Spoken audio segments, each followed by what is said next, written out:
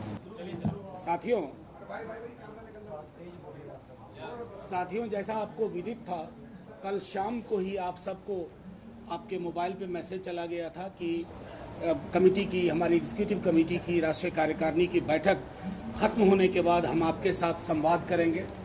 मूलतः ये राष्ट्रीय कार्यकारिणी, जिसमें आपने देखा कि तमाम हमारे डेलीगेट्स पूरे देश से आए हुए थे अलग अलग राज्यों से आए थे उन्होंने अपनी बातें रखी। तीन महत्वपूर्ण प्रस्ताव, राजनीतिक प्रस्ताव, जिसका बहुत महत्व है आज के दिन में। जब देश को एक अंधे कुएँ में ले जाया जा रहा है, ले जाया क्या जा रहा है, ले जाया जा चुका है। विदेश नीति, जहाँ ढुलमुल रवैया है, और आर्थिक प्रस्ताव, जहाँ सरकार के पास न कोई सोच है, न समझ है, न कोई ब्लूप्रिंट है। इन तीनों के मद्देनजर राष्ट्रीय जनता दल ने, हमारे अलग अलग सहयोगियों ने अपनी बातें रखी जो दल की बातें थी। उस पर फिर प्रस्ताव के समर्थन में लोग आए।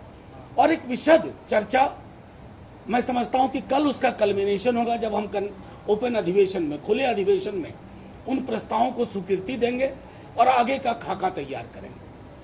भाषण प्रस्ताव रखने के बाद जो आदरणीय शरद यादव जी, लालू जी हमारे राष्ट्रीय अध्यक्ष, और और तेजस्वी जी हमारे डिप्टी सीएम, तीनों के भाषण का लब्बो लुबाब आशय ये था कि देश की अवस्था बहुत गंभीर है। इतनी गंभीर है जिसका मैं समझता हूँ कि सिर्फ़ ज़िक्र कर देने से बात नहीं बनेगी। बेरोजगारी का मसला हो, पाँच दशक में अब सबसे ऊँचे दर पे है। सरकार के पास कोई ब्लूप्रिंट नहीं है। बेरोजगारी की बात करो तो बुलडोजर पर बहस ले जाएँगे, हिजाब पे बहस ले जाएँगे, जहाँ सामाजिक सौहार्द को बलवती करने की इच्छा शक्ति होनी चाहिए थी। वहाँ पर हिंदू मुसलमान कर रहे हैं। तो इस देश को आज़ादी के पचहत्तरवें वर्ष में एक नए दिशा की, एक नई दिशा की आवश्यकता है। और आज तीनों के भाषण का आशय था कि जो परिवर्तन बिहार में हुआ है, वो मामूली परिवर्तन नहीं है। हमने मतभेदों, अहम को त्याग करके एक साथ आने का निर्णय किया है और उसके बाद इस बयार को पूरे देश में ले जाना है। विपक्ष साथ बैठेगा, बातचीत होगी, एक प्रगतिशील दस्तावेज़ आएगा। बेरोजगारी के खिलाफ, महँगाई के खिलाफ, सामाजिक सौहार्द के पक्ष में, ताकि आज़ादी के पचहत्तरवें वर्ष में हमारे जो पुरखों की विरासत है, उसको कोई छत विछत न कर पाए। इस दृष्टिकोण से आज के सारे डेलीगेट्स, सब लोगों ने अपनी बात रखी। और मैं समझता हूँ कि जो बयार जैसा मैंने कहा कि बिहार से शुरू हुआ उसकी शुरुआत हो चुकी है। देश के अलग अलग हिस्सों में साथ बैठने की कवायद शुरू हो गई है और एक बार साथ बैठेंगे, बेहतर विकल्प निकलेगा और वो विकल्प आत्ममुग्ध व्यक्ति नहीं होगा, क्योंकि आत्ममुग्धता की राजनीति का हमने आठ वर्षों में देखा है कि आत्म केंद्रित राजनीति ने हमारे महत्वपूर्ण चीज़ों का अवसान कर दिया है, उसको खत्म करके रख दिया है। ये हमारे आज की राष्ट्रीय कार्यकारिणी के जो महत्वपूर्ण बिंदु थे वो हैं। आप सबको अगर आपको बैग मिला होगा या कोशिश करेंगे कि प्रस्ताव कल प्रस्ताव की कॉपी भी दे देंगे। लेकिन मूलतः आशय यही था अब अगर आपके कुछ सवाल हों तो आप पूछ सकते हैं। जो स्थिति है वो अभी तक साफ़ नहीं है। क्या उन्होंने इस्तीफा दे दिया अभी है या एक एक एक जगता बाबू फिजिकली यहाँ आए या ना आए अभिभावक हैं। हमारे तमाम साथियों हमारे राष्ट्रीय अध्यक्ष के साथ अन्योनाश्रय संबंध है। उनकी आज की गैर मौजूदगी उनकी हमेशा की मौजूदगी पर सवाल नहीं कर, खड़ी कर सकती। ये स्पष्ट मानिए उनके उनकी गर्माहट सब निर्णय उनके साथ मिल बैठ करके लिया है। और तेजस्वी जी का एक बहुत ही विलग उनके साथ रिश्ता है। तो आज वो कतिपय कारणों से अगर ना आए आपको मैं लिख के देता हूँ। वो हमारे बीच थे हमारे बीच हैं और हमारे बीच रहेंगे। इस्तीफा तो नहीं दिया जब इतने कहने के बाद भी आपका सवाल मेरी तो समझ में नहीं आया। सर सीबीआई ने जो चार्जशीट फ़ाइल किया है उसमें तेजस्वी यादव के सहयोगी संजय यादव उनका भी नाम है। लैंड मामले में संजय यादव जी का नाम? ये कल पूछताछ है नहीं नहीं संजय यादव जी का नाम है कि किसी और संजय का नाम है। सबसे पहली बात है कि सीबीआई की चार्जशीट इसको क्यों कह करके आप लोग भी खराब करते हैं? ये तो बीजेपी की चार्जशीट है और वो इसलिए है कि आपके नक्शे कदम पर हम चलना नहीं चाहते। हम इस देश के नक्शे को नहीं छोड़ेंगे। आपके नक्शे कदम पे नहीं चलना चाहते हैं तो बंद केस को आप खुलवाते हैं और एक फिक्टिशियस अपनी मर्ज़ी से आप पात्र गढ़ते हैं। और पात्र गढ़ने के बाद आप चार्जशीट करते हैं।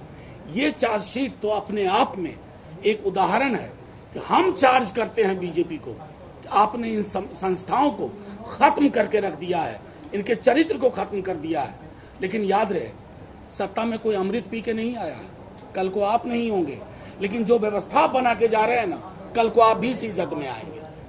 सर सर, सर ऑपोजिशन कहा को कि करीब सर ऑपोजिशन को करीब लाने के लिए क्या स्पेसिफिक पॉइंट्स पे डिस्कशन हुआ और इस पे लालू जी की क्या प्रतिक्रिया थी? और एक सवाल ये कि क्या किसी नाम पे चर्चा हुई जो ऑपोजिशन की देखिए अब नहीं नहीं नहीं। पहली बात तो ये जान लीजिए कि अपोजिशन के संदर्भ में चाहे हमारे राष्ट्रीय अध्यक्ष लालू जी हों शरद जी हों तेजस्वी जी।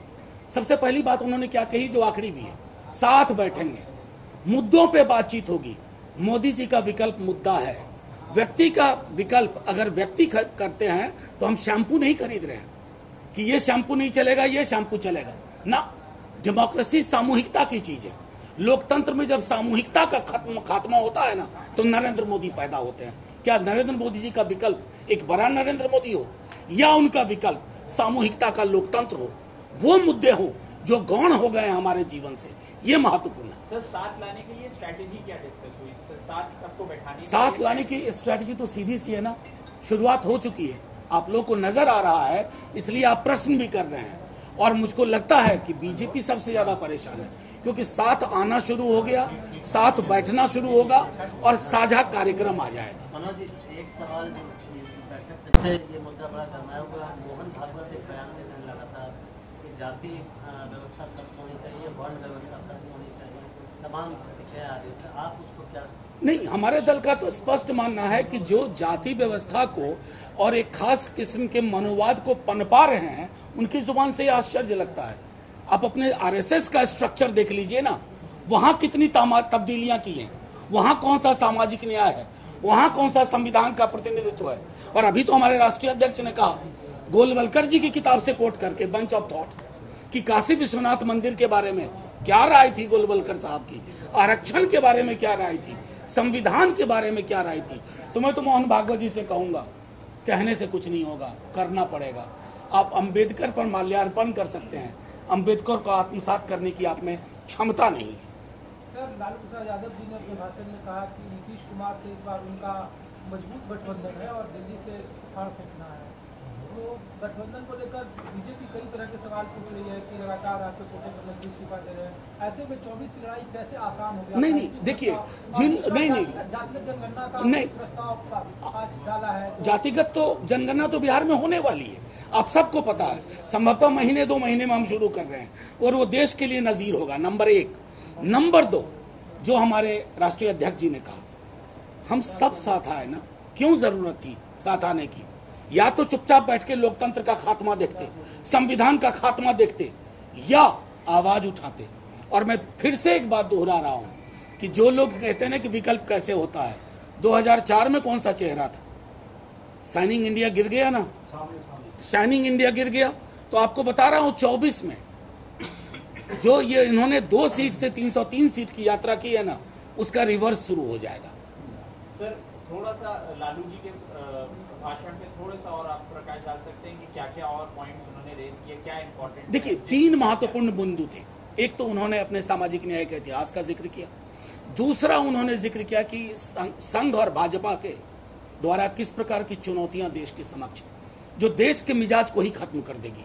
और तीसरा उन्होंने आगे के रोड मैप का ज़िक्र किया कि कैसे हमें हाथ पर हाथ पकड़ करके कौमों के बीच में दीवारें ना हो दीवार गिराने का काम किया जाए। हर व्यक्ति अलग अलग समुदाय के लोगों को जोड़े और आगे बढ़े।